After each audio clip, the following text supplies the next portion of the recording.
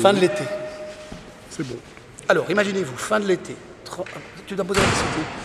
Alors bonjour Benoît Poulvort, madame. on parle ici du festival intime sur le- la littérature. La Festival. oui. Fin août, on vous découvre gros lecteur. Je suis un gros lecteur. Euh, c'était, gros lecteur. Excusez-moi, je ris, je ris de l'expression. Elle est correcte. Oui, oui, elle est correcte. C'est, parce que je visualise un, Oui, j'ai compris. Pardon, je reprends. Euh, gros lecteur. Oui, je suis un, gros lecteur. Et j'ai, décidé, avec des amis, d'organiser un festival de l'intime. L'intime festival, où la littérature aura une grande place, certes, mais il y aura d'autres médiums, hein, la photographie, euh, le dessin, euh, il y aura des rencontres avec des auteurs, il y aura des lectures, des lectures de, grands textes, enfin, comme moi j'estime des grands textes. Et c'est une rencontre, c'est surtout ce que je. c'est- autour de l'intime, c'est très important. C'est pas un festival littéraire au sens où on vient. C'est- plutôt. Le, le- le maître mot, c'est l'intime, c'est-à-dire de la part d'intime qu'il y a dans, dans le. et comment on la transmet dans, certaines œuvres artistiques. Ça, ça Alors vous, aux deuxième question. alors vous dites intime, donc euh, effectivement quand on lit on est euh, en dialogue avec soi-même, on n'aime pas qu'on se penche sur votre épaule, c'est un acte privé et privé, cette oui. notion-là vous y tenez. Oui, j'y tiens beaucoup. D'ailleurs, je- je- j'essaye vraiment que.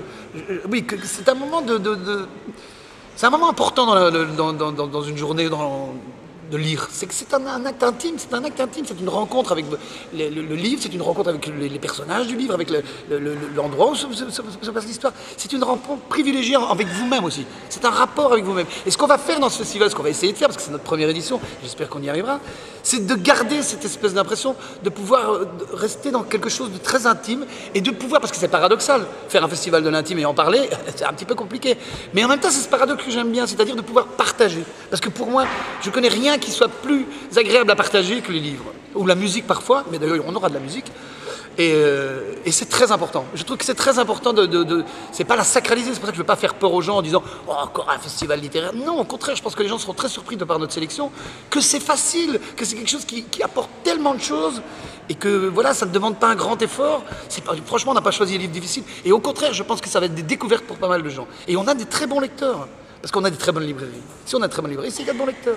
Et contrairement à ce que beaucoup de gens disent, je pense que les Belges lisent très bien. Alors euh, vous dites souvent que le livre il vous accompagne sur les tournages, Ah oui, puisque le cinéma c'est l'art de l'attente entre deux prises. Et donc vous lisez beaucoup beaucoup. Vous aimez, vous aimez les livres lus aussi, parce je que c'est un un bel exercice. Ça, oui, ah, je trouve que c'est un très bel exercice et c'est encore une fois, c'est encore une discipline supplémentaire. C'est d'ailleurs une des grandes conditions qu'on a mis quand, quand on a organisé le festival. Je tenais à ce qu'il y ait des grandes lectures avec des acteurs, parce que là c'est un acteur qui s'approprie le texte et je trouve que c'est merveilleux parce que parfois on découvre le, le- le texte parce que l'acteur il met une telle. Vous savez, si vous écoutez, alors on ne l'a pas cette année, mais on l'aura l'année prochaine. Je vous promets que j'arriverai à la voir. Quand Podalides lit euh, Nathalie Sarraute, c'est pas évident de lire Nathalie Sarraute. Pourtant, quand Podalides le lit, mais c'est magnifique. Tu dis, ah, je vais tout de suite lire Nathalie Sarraute. Mais même si par exemple vous lisez Rilke, moi je connais des gens qui quand tu lis Rilke, tu t'es pas toujours face. La poésie c'est pas difficile, comme Sylvia Plath. C'est pas évident de lire, Sylvia Plath. Eh bien, Isabelle Carré a lu Sylvia Plath. Les livres lus, je, je suis un fan de ça. Parce que c'est aussi une relation avec l'acteur. Quand vous êtes seul, vous êtes là avec euh, le, le- le livre, et le- la personne qui le lit, vous avez l'impression qu'elle se, qu'elle se confie à vous. Et ce qu'on va essayer d'avoir dans ce festival, c'est la même chose. C'est-à-dire, vous allez avoir une ambiance où vous serez avec le lecteur et le livre, et c'est des moments privilégiés, ça va être gracieux. Dernière question, Benoît Poulvoort. Quel est le livre qui a changé votre vie? Changer ma vie, je dirais euh, le Quatuor d'Alexandrie.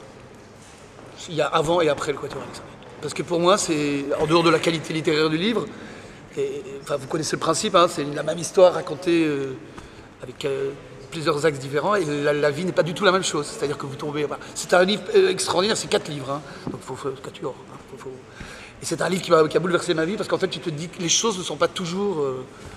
c'est vu sous un axe, la, la- vérité où se trouve la vérité dans une histoire? Et puis ce que j'adore, c'est qu'après, il la reprend dix ans plus tard, et on ne saura toujours pas ce qui est vrai ou pas vrai, parce qu'il y a quatre, quatre lectures différentes. Merci Benoît fois. Bonne lecture, bon festival. Merci beaucoup, euh, merci d'être venu. euh, merci, merci à vous, merci amis internautes. internautes. Voilà